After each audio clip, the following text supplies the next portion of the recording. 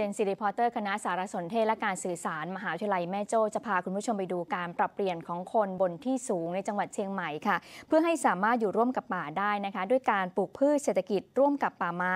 ตามแนวพระราชดำริของสมเด็จพระเทพรัตนราชสุดา สยามบรมราชกุมารีค่ะ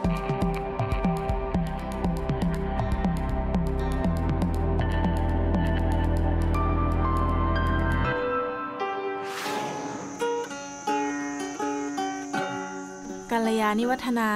เป็นอำเภอหนึ่งในจังหวัดเชียงใหม่ ซึ่งพื้นที่ส่วนใหญ่อยู่ในเขตที่สูง จึงทำให้มีป่าไม้และทรัพยากรที่อุดมสมบูรณ์ และอากาศที่หนาวเย็นเกือบทั้งปี คนในพื้นที่ส่วนใหญ่เป็นชาวปากากยอทำไร่ทำนา และการเกษตรหลักการเข้ามาของพืชเชิงเดี่ยวในชุมชน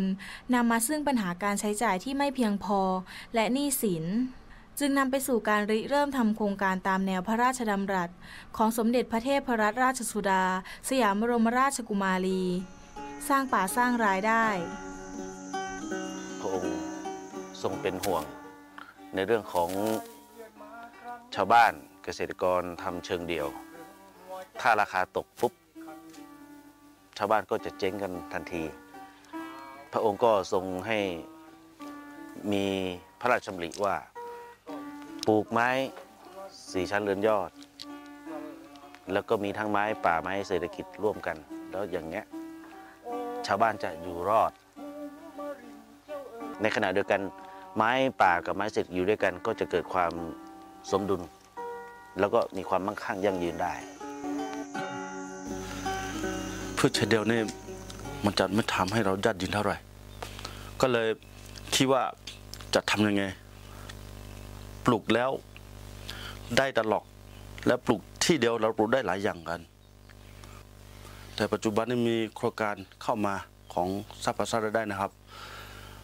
ทุกคนที่ปลูกผัดตอนนี้ต้องกลับมาทำผักสวนผสมผสานนะครับ เรามีแค่สองสามไร่เราเราจัดการให้มันถูกต้อง ให้เป็นสับเป็นส่วนเนี่ยเพราะคนข้างล่างเนี่ยทุกคนที่เขาอยู่ข้างล่างเนี่ยเขาต้องการพืชผลผลิตตลอดครับ แต่เราจัดการให้มันถูกต้อง มีรายได้เพิ่มขึ้น อยู่ดีกีดีขึ้น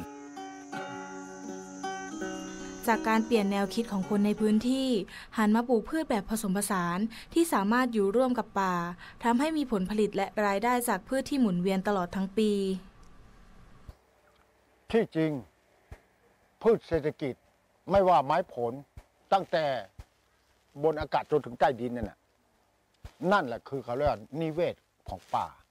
ก็ต้นไม้ที่เราปลูกเนี่ยเหมือนกับเป็นมันหมุนเวียนตามตามรอบปีอยู่แล้วเนาะมีนาเมษาก็พวกเบิร์กเพิ่มพลัมพฤษภามิถุนาก็จะมีกาแฟเนี่ยพวกนี้จะจะออกกรกฎาสิงหาก็จะมีพวกอะโวคาโด อีกหน่อยห้าปี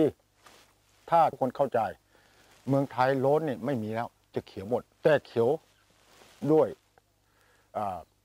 ไม้ผลอ่าจะเป็นรายได้ทันทีเลย เป็นป่า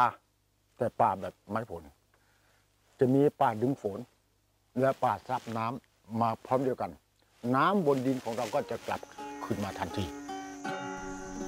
สร้างป่าสร้างรายได้ สร้างการเปลี่ยนแปลงให้เกิดกับชุมชน และคนในพื้นที่ปลูกป่าเพื่อนำความเขียวขจีกลับมาอีกครั้ง แผ่นดินของเรามีทรัพยากรเยอะอยู่แล้ว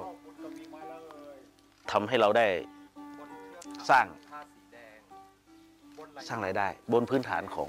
ระบบนิเวศที่ดี เชื่อมั่นว่าสิ่งที่สวยงาม สิ่งที่งดงาม สิ่งที่มีความมั่งคั่งยั่งยืนทำให้ลูกหลานกลับมาได้